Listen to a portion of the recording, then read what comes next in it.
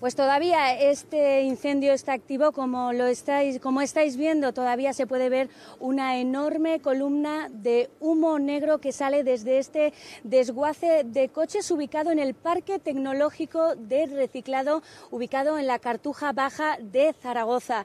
Se sigue trabajando y aunque sabemos que el incendio está controlado, todavía no está extinguido. Tenemos con nosotros al sargento de bomberos, Javier Pizarro, para que eh, nos explique qué es lo que ha podido pasar. ¿Cuándo comenzaba este, este incendio? Eh, buenas tardes. El, aviso entra en bomberos en torno a las diez y media. Nos desplazamos varias dotaciones y encontramos un incendio muy desarrollado que afecta a un apilamiento de material principalmente compuesto por lavadoras y en partes metálicas de vehículos compactadas. Material de desguace, ¿no? Material de desguace. Es el, está en el amontonamiento previo al proceso selectivo que hacen en la empresa. Esta mañana, cuando estábamos aquí, eh, oíamos explosiones, deflagraciones. Eh, ¿Qué estaba ardiendo? ¿Qué estaba explotando? Pues como está muy, muy compactado, si se, forman bolsas según qué elementos han, hay dentro, pues puede darse las explosiones de las que hablan y que se oyen y que allá abajo le garantizo que son muy, muy vistosas. ¿Son, labores, ¿Son difíciles ahora mismo las labores de extinción de este incendio? ¿Cuál es la magnitud?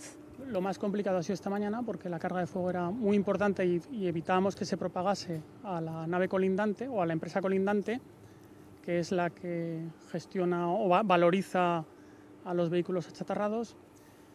Y ahora mismo estamos colaborando con, con la propiedad y con grúas que han puesto a nuestra disposición y pulpos, desplazamos la chatarra y una vez la tenemos apartada porque es material metal fundido, vamos refrescando para poder eh, bajar la cantidad del apilamiento de chatarra.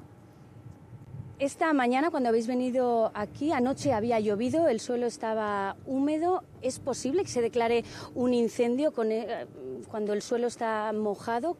¿Sabemos algo de las causas que, que han podido declarar este incendio? Esta mañana, cuando hemos venido, había charcos en toda la zona de la empresa.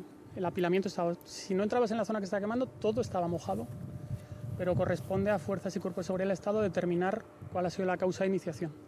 Ahí no podemos hacer valoraciones. Decir que la Guardia Civil afirma que podría ser un incendio fortuito y que en los próximos días hasta aquí se va a desplazar desde Barcelona un equipo de incendios de la Guardia Civil, que es el mismo equipo que investigó, el incendio de la residencia de ancianos de Santa Fe. Para terminar, ¿cuánta gente hay trabajando ahora mismo ahí dentro y cuándo se espera o esperáis que se extinga este, este fuego? Pues ahora mismo hay 15 personas trabajando en el interior de la, empresa.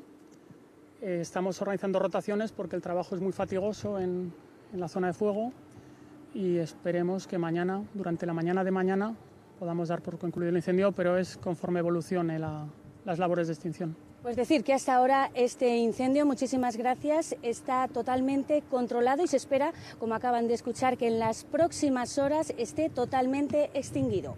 Pues muchísimas gracias por la información y, por supuesto, continuaremos atentos a la programación de Aragón TV y Aragón 2 Noticias para conocer cuál es el estado las próximas horas de este fuego de la Cartuja Baja. Gracias, María.